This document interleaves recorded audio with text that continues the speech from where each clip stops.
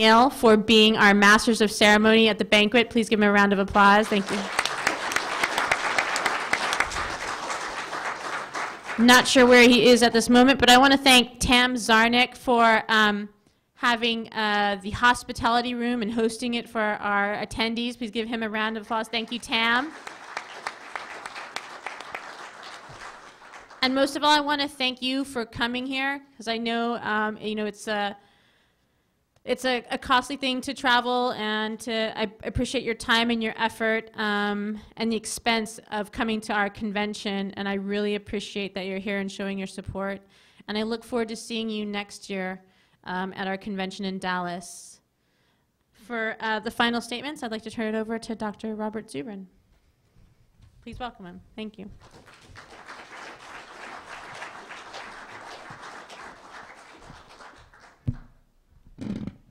Okay, so um, I'd just like to reiterate, uh, and this is not pro forma, um, my thanks to the people who organized this conference, who made it possible, uh, the Ohio chapter uh, especially, uh, but also, uh, of course, Pat Zarnick, Lucinda, uh, and others that, that, aren't even here, Sue Martin, Freya Jackson, um, and, and, and, many others. This stuff uh, just do, it doesn't happen by itself. And uh, this was really a bang-up job, and, and um, I'm really um, grateful to the people who put out the effort. No, no one got a dime to do all the work that was done, um, and uh, a lot was done. So, um, uh, I might want to mention in, on the subject of money, uh, we did raise about $11,000 uh, last night at the banquet and, uh, and that's a good thing. And that, that is also, obviously, it's both needed, but it's also a demonstration of the kind of commitment that is needed more broadly and is what makes everything happen. Now, um, a lot's been said at the convention here, and there isn't really that much to add uh, that hasn't been said, but uh, nevertheless, uh, it's useful to underline the subject, okay? We're in a battle um, it's a big battle. Um, it, it's an important one. Um, we have uh, a, um, a uh, possibilities for things to move in, in uh, very different directions at this point. Uh, the situation was thrown into flux um, when uh, Bush and Griffin left office. There was a certain program in place that was ripped up. Um, and that program was, was not perfect from our point of view, hardly. I mean, I, those of you who've been to previous conventions know that I was quite critical of many aspects of it. But at least it was something, at least it would have given us a heavy lift booster and a capsule and an interplanetary throw stage, about half the hardware set we needed to go to Mars. Uh, at least it was a way to have some form of progress in our space program. The, uh, what happened in February, the thing was uh, there was a put-up job um, John Holdren, Barack Obama's science advisor, is a longtime enemy of human spaceflight uh, and a longtime enemy, frankly, of uh, industrial civilization and technological progress. And you can verify that if you look up the, the books that he has co-authored with a man named Paul Ehrlich, who's a, uh, an ardent advocate of the whole zero growth thesis that human uh, uh, uh, growth needs to stop, be stopped. Industrial growth, population growth, technological progress. It's all got to stop. And in fact, that he calls the United States an overdeveloped country that needs to be deindustrialized. And if you read these books, they're amazing because whenever they use the word progress, they put it in quotes. And uh, in other words, they can't even say the word progress with a straight face. Uh, our more advanced civilization, blah, blah. Okay, uh, out of their deep concern for the people in Africa, they wanted to prevent them from having to live under the conditions that we live today, um, and would prefer actually that it go the other way.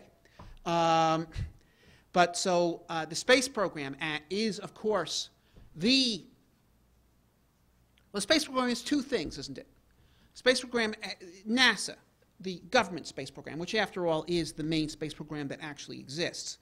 Um, as opposed to the private one that we're all hoping will emerge. But the one that has existed up till now is the NASA program, and it has two sides to it, doesn't it? there, there is, as its opponents say, there's this huge wasteful bureaucracy, uh, and it does wasteful things, and it's uh, bureaucratic, and, and, and you name it. Uh, on the other hand, there is NASA as the symbol of the pioneer spirit. There is NASA as the symbol of the can do American spirit. We can do anything. Uh, and uh, of self reliance, ingenuity, uh, the uh, ability of progress to make things possible that were never possible before. Okay? Um, and after all, when we went to the moon, what was it fundamentally saying? It was saying free people can do anything. There is no challenge that is beyond us. Okay?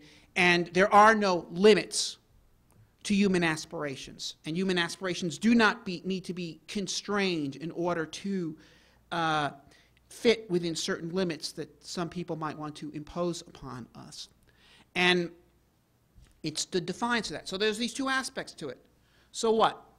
So NASA, not as bold as it was in the 60s by any means, but still, under the previous plan, okay, we're returning to the moon. We're going back to where we were the last time we made that statement, and presumably we would go on from there.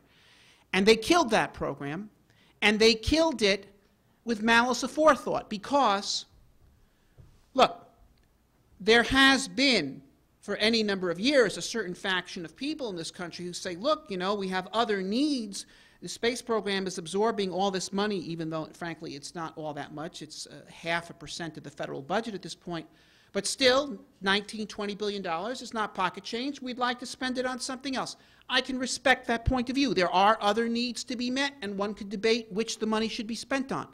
But they didn't do that. They didn't cut NASA's budget in order to spend the money on social programs or housing projects or highway repairs or body armor for the troops or tax reductions. Okay? The, the, the, they didn't cut the NASA budget at all. They just aborted the program. Okay?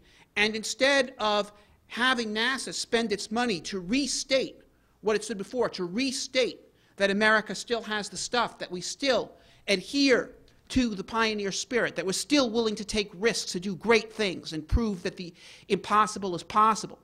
Okay, uh, they said, fine, we'll give you the money, okay, because we know all you really care about are your jobs. So we'll give you three billion a year to refurbish the shuttle launch pads after the shuttle stops flying. I'm not making this up. Okay, you know, the, the, the, originally they wanted to kill the Orion altogether, but finally, under great pressure, when there was pushback, okay, they said, well, look, we understand. You don't want to be able to send Americans to orbit. All you care about are your jobs. So we'll give you your jobs. You can have your Orion money. We don't care, just so long as it can't take astronauts to orbit. So we'll give you an Orion that goes down and not up. I mean, this is incredible. Okay, I mean, I've never seen anything like this.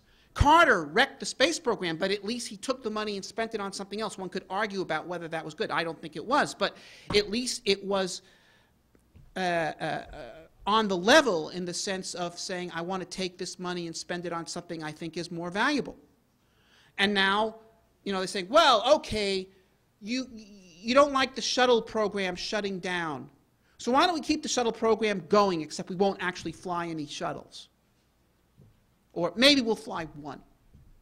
You know, and so this is incredible. It is degrading, okay, to NASA.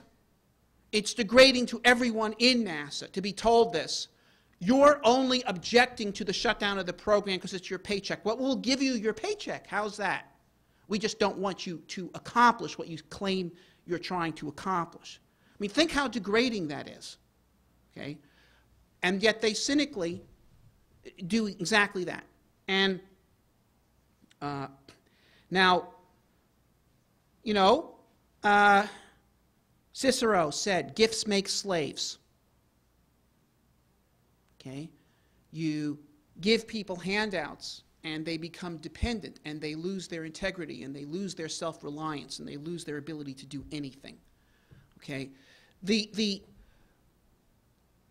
and they become something less than what they were before And the space program, if we have a space program which is just taking handouts but not being asked to do anything, it's going to become something less than it was before, and visibly so.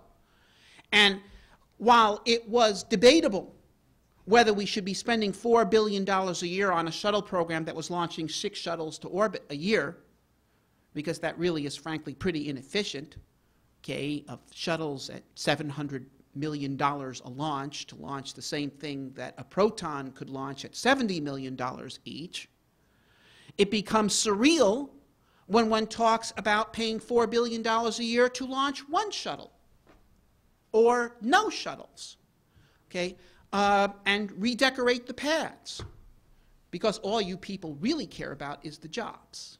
This is not a space exploration program. This is a jobs program, and you people are not engineers. You are welfare recipients. Okay.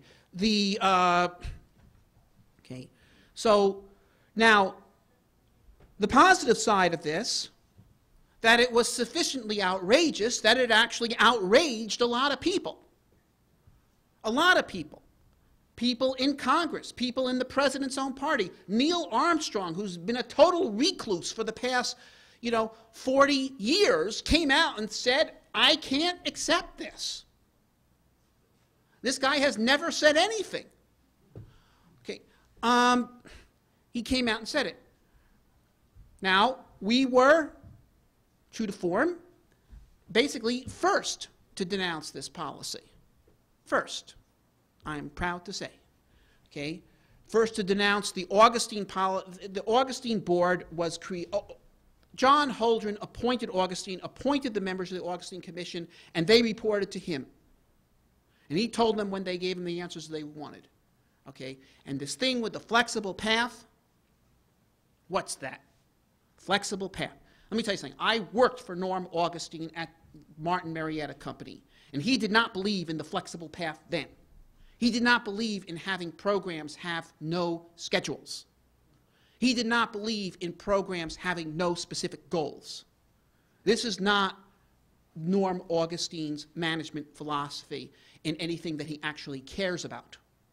So to say that this is the program that the space shuttle should, uh, space program should adopt, no concrete objectives, no concrete goals, work on interesting things and let us know when you're ready to do something. Okay, sure, we'll just give you money and you don't really have to do anything by any particular time. No, this is a put-up job.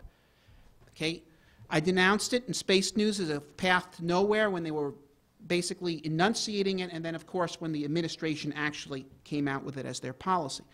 But now we have allies. We have allies precisely because the policy is so bad. Okay? Uh, they have outraged so many people. And that has created flux in the situation.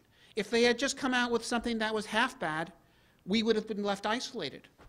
Um, the, a lot of people would say, well, it's okay, I guess fine, you know, let's move on. Uh, but no, this has just been too crazy.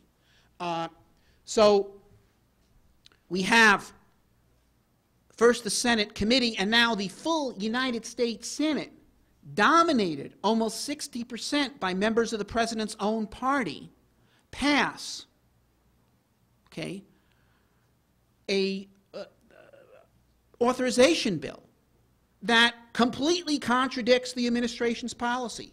Says, no, this is wrong. We're not doing it. Okay. Uh, now, unfortunately, okay, well, it compromises uh, because you say, well, you know, they're saying we get nothing. We'd like something. That something's better than nothing, and we're willing to compromise. But still, They've got a bill with money in there to develop heavy lift. We have to get that to pass. Okay, we have to deliver this defeat okay, to the Obama administration. Okay, um, and to let them know what the score is here. That they can't just take a major American institution that, even more than an institution, a symbol of a great American value, the pioneer spirit. You know, we went to bat for Hubble against Sean O'Keefe.